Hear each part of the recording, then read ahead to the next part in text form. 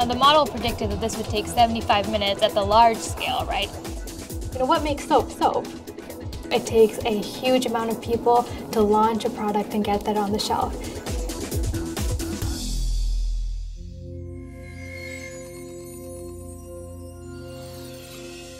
I realized that being a chemical engineer didn't just mean chemistry or didn't just mean math. It meant creating things and on so many different levels and for so many different kinds of products.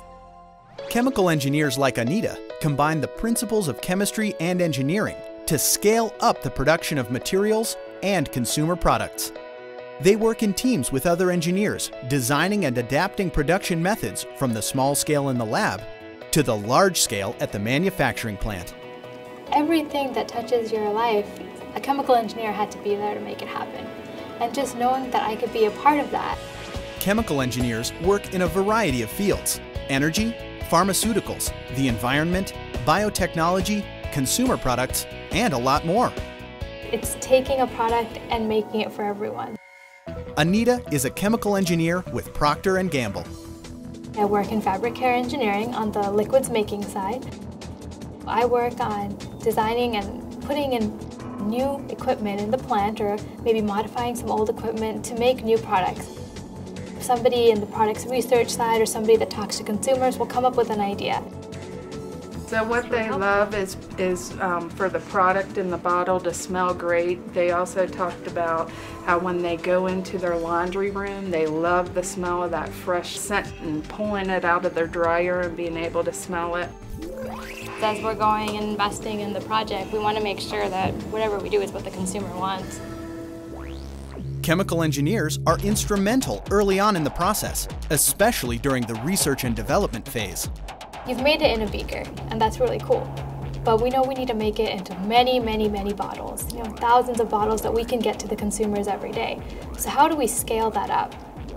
With our computer modeling tools, what we've done is we're simulating the injection of this material into our product. So we're showing that it's really well mixed right now. And I think that's going to be really important for us making our design requirements that we know we can get this. Now we can see the rotational movement of the agitator drawing the fluid down, just like the model predicts. Yeah, I can see it going around getting mixed. Right. And we can see that the strands are breaking up and being drawn down into the fluid. And after a few minutes, we should see the material dissolve. When Anita's not meeting with her R&D colleagues in Cincinnati, she's usually working at one of Procter & Gamble's manufacturing sites. Anita is brainstorming with Lauren, another chemical engineer, planning the scale up of a new product. This tank right here is free. Probably have to do some changes inside. I mean, what kind of material properties does this have? So we're thinking this is going to be a kind of thick material. Um, and we're going to plan to inject it back into our formulas and want to make sure it's homogeneous. Okay, so we're looking at an agitator, maybe a top mounted or side mounted one. So it looks like the top mounted is what we're going to want. That looks how we that's how we're avoiding phase separation right now. And I picked chemical engineering because it's the most versatile. Like I can work in in product supply, I can work in environment, I can work in the energy sector, I can work in chemical production. I have so many options. You work all day and you produce these things, but then you go to the store and you see it on the shelf and you, you're like, oh, well, see, I made that. And like my mom will call me up and she'll be like, did you make this new thing? It's awesome. And I'm like, yeah, I did.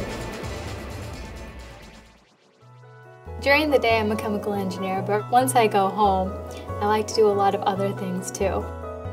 I've learned how to cook and I like trying different recipes out and sharing them with my friends. I like to do different types of art. I paint and I do draw. I think one of the most exciting things about my work is it's not just one project, and they might be in different phases. So after uh, several months of options analysis, we have gotten alignment from our GM on a base plan for this project. So, As chemical engineers design their projects, they take into account consumer preferences, implementation costs, and especially plant safety. We're working on a noise study. We measured what the sound was actually because using the, the site's official decibel meter because we did want to get that recorded. We had it custom made for soundproofing. We need noise cancellation. I would cancellation. research that. Chemical engineers also make sure their designs are environmentally sustainable. We're thinking that the batch cycle time is going to take about 75 minutes after unload. Okay, so we want to try to get that um, reduced as much as possible if they can. Everything in life is about chemistry, and we need to understand how to control it and make it work, and make it work in a clean, green, and efficient way, right? Sustainability is a huge thing now. Chemical engineers typically have a bachelor's degree in chemical engineering, and some go on to receive a master's degree in chemical engineering. But being an engineer isn't just about math and science, you know. You do want to have a good basis in other things like history and English and being able to communicate well. You know, think you have to think a little bit outside the box. I think the most rewarding thing about being a chemical engineer is that you can see what you make. Being creative is being an engineer.